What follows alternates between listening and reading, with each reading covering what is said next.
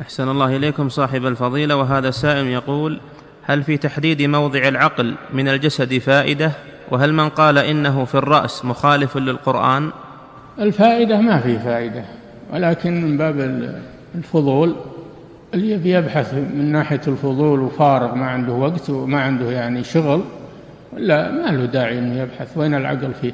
ولكن الذي توصل إليه بعض المحققين أن العقل في القلب وله اتصال في له اتصال بالدماغ له اتصال بالدماغ. ولذلك لو اختل الدماغ اختل التفكير ولو اختل العقل اختل أيضا التفكير. فدل على أنهما مرتبط بعضهما ببعض. الله جل وعلا يقول لهم قلوب لا يعقلون بها ويقول فإنها لا تعمى الأبصار ولكن تعمى القلوب التي في الصدور. نعم. إعداد مشروع كبار العلماء بالكويت أعزها الله بالتوحيد والسنة.